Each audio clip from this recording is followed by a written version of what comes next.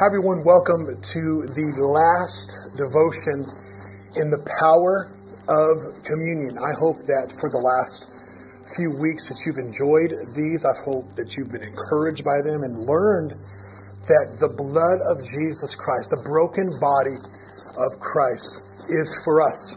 It's for our redemption. It's our covenant with Him. When He went to the cross, He paid the ultimate price to purchase us to take us back, if you will, from the grips of sin, death, hell, and the grave. No longer do those powers have any power over you. Sickness has no power over you. Doubt has no power over you. Lies have no power over you simply because of his blood and because of his broken body. Now, today I want to talk to you about how communion actually makes us more aware of his presence. You see, when we remember the body of Christ and when we remember the blood of Jesus, it brings back to us an alignment with heaven. You know, the angels in heaven right now are all in awe of what Jesus provided for us. They're in awe. They want to know more about him. And when we remember him and when we talk about the cross and when we talk about um, him going to the grave and when we talk about the resurrection when we talk about those kinds of things, all of heaven begins to pay attention to our surrounding because they are enthralled with what Jesus Christ did for us. Heaven and heaven's atmosphere is attracted to Jesus. It's attracted to the brokenness and the blood of Jesus Christ that was paid for you and for me and for the generations to come. You see, the book of Colossians says that he did it once and for all. His yes and amen was the promise. His it is finished was the promise for me and for you to have completed work in him. No longer, see, no longer do I have to try to work for his favor. No longer do I have to try to work for his blessing. No longer do I have to try to work for his good grace, if you will because of the cross of Jesus, because of what he accomplished for us, the Bible says it is finished, it has been done once and for all, the completed work of Christ. Now I simply get to humble myself in that, to submit my heart, submit my ideas, surrender, surrender all that I am to him. And when we do that, we attract the presence of heaven. We attract the presence of God when we surrender them. At the end of the uh, devotion today, we're going to take communion together. So I want to encourage you right now to find some elements, whatever that might be. Maybe you're driving to work, or maybe you're listening to this in your car, or maybe you're at home right now. Maybe it's early in the morning, maybe it's late at night. Wherever you're at right now, take a moment, press pause, okay, right now, and then go grab some elements right now, whether that be, it doesn't matter what it is. Grab something because at the end of this, we're going to take communion together as we wrap up our Power of Communion devotionals. So let's talk about the presence of God and how God is attracted to this. God is everywhere is not the same as God is here. God is everywhere is not the same as God is here. Yes, we believe, and I believe that God is everywhere. Where you go, there He is.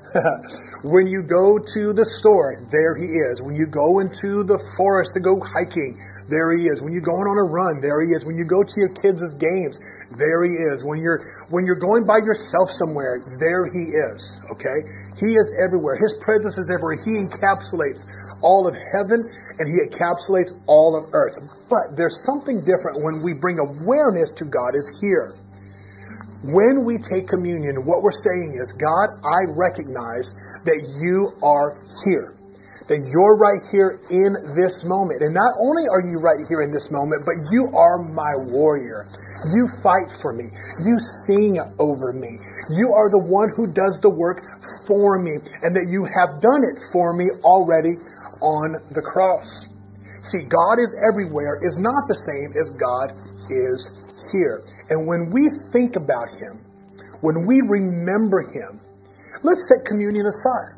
When we remember Him, David used to say this all the time let's remind ourselves of God's blessing. They used to, in the Old Testament, set up, um, set up uh, stones as a memorial to where God was.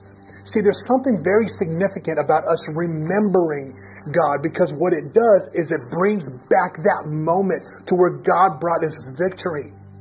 And so I want to encourage you, with communion aside, let's remember Christ. When we remember Him, when we set our mind and we set our thoughts to remember Him, what begins to happen is, is we become aware of God's presence in the very moment where we're at. So instead of God just being where you're at, at the grocery store, you become aware of His tangible presence right where you're at.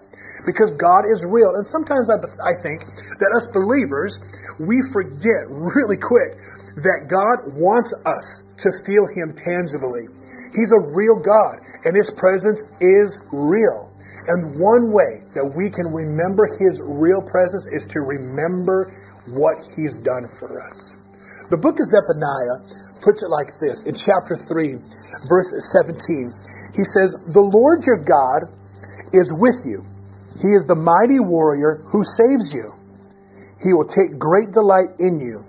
In his love, he will no longer punish you. Instead, he will sing for joy because of you. I, I just think I need to read that one more time. That is so good. Zephaniah chapter 3, verse 17. And if you're at a place right now where you can follow along with me, I encourage you to grab your Bibles and read this along with me. The Lord your God is with you. He is the mighty warrior who saves. He will take great delight in you. In his love, he will no longer punish you. Instead, he will sing for joy because of you. See, he is right here, right now, with us as our mighty warrior who loves us, who does not punish us, who sings joy, songs of joy over us. This idea that God is mad at me and He's just waiting for me to mess up to strike me down with lightning or leprosy or whatever, fill in the blank, right? That whole idea is absolutely incorrect. As a matter of fact, it's quite the opposite. Remember last week we talked a little bit about that, how God is different. He's built different. His ways are much different than our ways. His ways are backwards uh, according to how we might think about it. So let me encourage you with this that He is with you. And when we remember Him, we align ourselves with His presence right here, right now. So, I want us to do a little exercise as we close and as we wrap up here, as we talk about this. I want to read a prayer over you, and then we're going to take communion together. This prayer simply goes like this You are holy, Lord. You are worthy of every offering of praise I could ever lay at your feet. I come before you in reverence and awe of who you are and of your power that moves in the face of the earth. I take your body, Jesus, aware of the gravity of what it costs you to invite me into eternal life. I take your blood, worshiping you with a purely devoted heart. You are a consuming fire and I stand amazed by you. So, right now in your vehicle, or right now as you're maybe got the elements in your hand, I want you to take communion with me because what we're going to do is we're going to invite God's presence right now into your room, into your space. And I believe that there is no distance or time with God. And when we do this, you're going to feel something. I believe that God's going to fill your room. He's going to fill your car. He's going to fill your ears right now if you're listening with your headphones. He's going to do something right now where you go, This is God. So, right now, Jesus, we take your broken body and we say thank you for going to the cross. Thank you so much, Father, for, for uh, uh, willingly laying your life down in sacrifice. So, together, we take your broken body. We thank you, Jesus. Father, we take your blood today. We thank you, God, that you are good. We thank you that you've forgiven me.